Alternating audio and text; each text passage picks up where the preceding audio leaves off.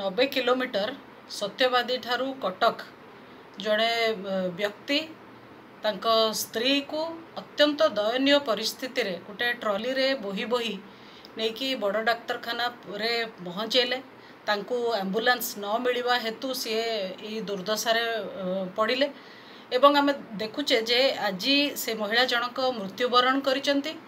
ଇଏ ସିଧାସଳଖ ରାଜ୍ୟ ସରକାରଙ୍କର ଅବହେଳାର ଫଳ। ନିଜ ଦାୟିତ୍ୱ ରାଜ୍ୟ ସରକାର ନିର୍ବାହ କରୁନାହାନ୍ତି। ବାରମ୍ବାର ଏଭଳି ଘଟଣା ଲୋକଲୋଚନକୁ ଆସୁଛି।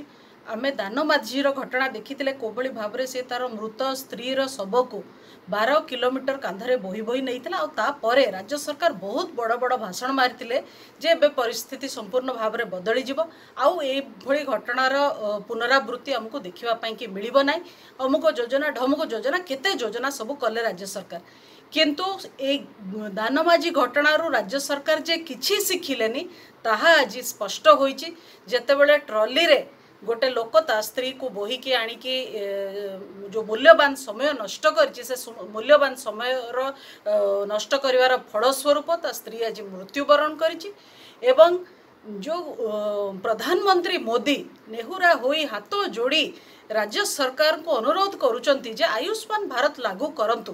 ଯେଉଁଥିରେ ଗରିବ ଲୋକକୁ ସବୁ ପ୍ରକାରର ସ୍ୱାସ୍ଥ୍ୟ ସୁବିଧା ଏବଂ ସ୍ୱାସ୍ଥ୍ୟର ଯେଉଁ ଭିତ୍ତିଭୂମିର ବିକାଶ ହେଇପାରିବ ଯେଉଁଥିରେ କି ସାଧାରଣ ଲୋକଟେ ଉତ୍ତମ ଧରଣର ଚିକିତ୍ସା ପାଇପାରିବ। କିନ୍ତୁ ରାଜ୍ୟ ସରକାରଙ୍କର ଏକ ଜିଦ୍ ନବୀନ ବାବୁଙ୍କର ଏକ ଜିଦ୍ ତାଙ୍କ ଅହଙ୍କାର ଯେ ଆୟୁଷ୍ମାନ ଭାରତ ଓଡ଼ିଶାରେ ଲାଗୁ କରିବେ ନାହିଁ କାଳେ ମୋଦି ବାହବା ନେଇଯିବେ।